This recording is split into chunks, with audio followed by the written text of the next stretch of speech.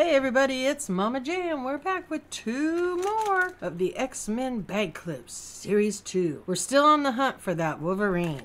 Alright, we have pulled two Professor X, one Gambit, and one Special Edition one. Now we're going to see if somehow, some way, we get lucky enough to find the Wolverine. Go ahead and tear it open. Reach in, get the little thing. Flip, ready? Boom! Alright, so we got Dark Phoenix. That's pretty awesome. Like she's trying to give somebody a kiss.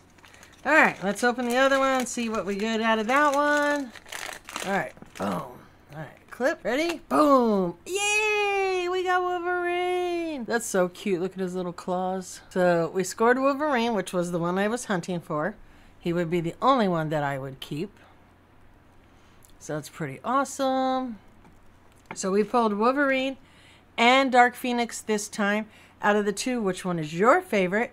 Now we have one more video, two more bags.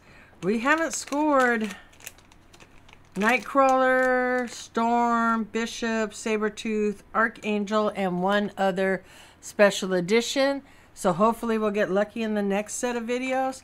Anyways, don't forget, leave that comment. Remember, stick around, check out my Patreons, and until next time, keep on rocking.